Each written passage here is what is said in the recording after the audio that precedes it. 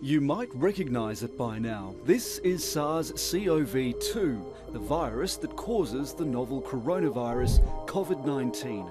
A single cell is just 120 nanometers in diameter. Here it is at 12 million times magnification, a microscopic virus that's turned the world upside down. Each cell of the virus is made up of several parts. On the outside, it's covered in nodules topped with distinctive protein spikes. It's these spikes that give the coronavirus family its name. In Latin, corona means crown. See?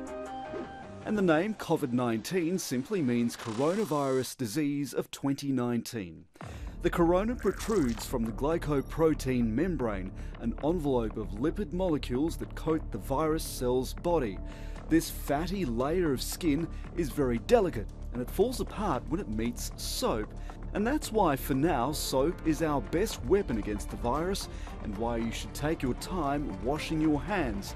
After 20 seconds, soap penetrates the grease and grime on our hands enough to rip the virus membrane apart, killing it. Under that oily skin is where the real trouble lies.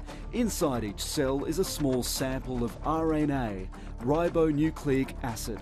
It carries the virus's genetic code and allows it to multiply, leading to infection. But how does the viral RNA get into our bodies? It comes back to those protein spikes. After the virus has entered the human body, it uses those spikes to attach itself to a healthy cell in the respiratory system. Once that's done, the viral RNA is released and the takeover begins. The cell reads the viral RNA and makes proteins that keep our body's immune systems suppressed. That allows the virus to reproduce and multiply, killing healthy cells and potentially causing lifelong damage or death. So, how do we beat this disease? Again, it's all to do with those protein spikes. They might be its strength, but scientists think they might also be its weakness. They now know its genetic code and can recreate it. A trial that began in Seattle is injecting people with that protein. Because it doesn't contain the viral RNA, they believe it's harmless, but it can teach the body how to make antibodies against the protein spikes.